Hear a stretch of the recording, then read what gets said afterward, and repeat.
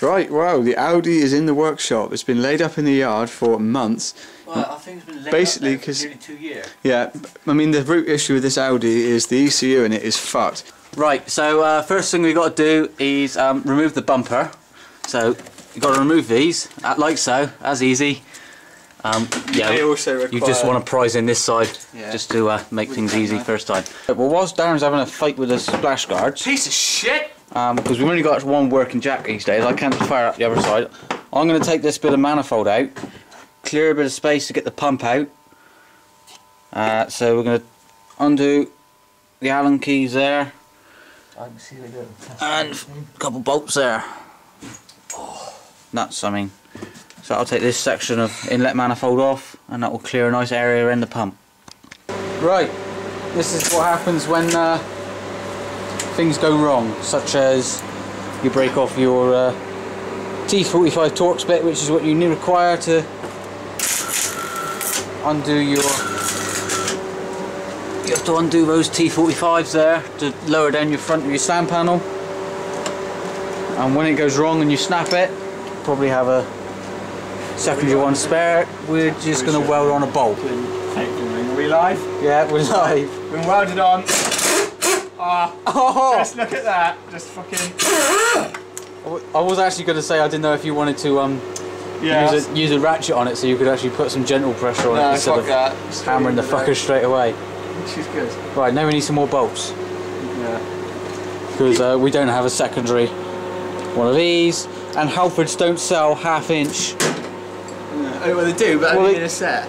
Well, yeah, they do only in a set, but the smallest singular half inch Torx bit they sell is a fucking T55, and that's too big. Sunday and uh, Saturday, and it's right now. There now. Right, we skipped ahead a little bit, but uh, basically we've undone those six, and then A few wires. a few wires undone, and then just basically, Wiring clean. It's all in one place, which is one thing that is thought out slightly, I suppose. and then you just swing her on down round. I think we will need a battery, not for support, but to stop that from leaking. There's a nice old shagged battery right here. Yeah. Right, then we stopped this. So next is the uh, Fan. fan. Whip this off. How? Watch, watch this. Fatal words. He says watch this, but he's got to find the tool first. So, I bet you're being bang, it's a different size now, and I won't be able to use this. but what we'll do is we'll come in here.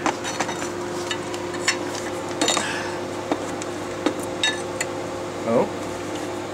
Oh shit me, I need two, don't I? It's just gonna slip because it's driven off the back of the belt. It's a piece of shit design. So I can get a conventional spanner in there. I have to put that on there. After watch this, it's hang on a minute, let's pause. What size is on this? Right, here we go.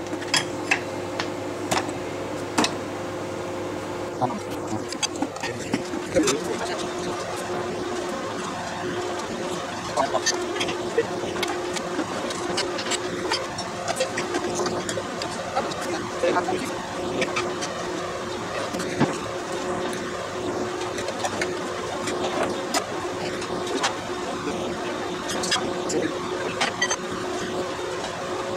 you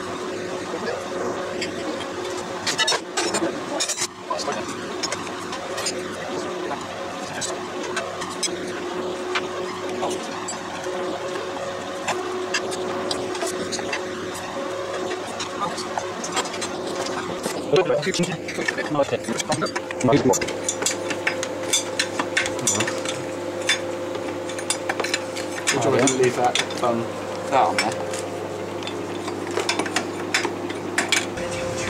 Right, we're just in the process of getting the pump off. I took the cam belt off. Um, it's a base mount pump, VP44. So just whip the four Allen keys out. Got the, got the pulley off the uh, front there. That's the pulley that we've somehow got to modify to fit the VE. As you've noticed, that shaft, that's my finger, is massive compared to even a 17 or 19 mil VE shaft. So that's going to take some mods, but it shouldn't take long. Um, and we've got to get a VE in there, which is a slight issue because the turbo's in the way. So since uh, we might have to move the turbo, I'm thinking we'll just accidentally put a bigger one in and mount it back there, cut that bulkhead out of it. Fuck knows what that's there for. It looks like Chris is just going to tear the pumping lines out complete, ideal. Oh, she's coming out, boys.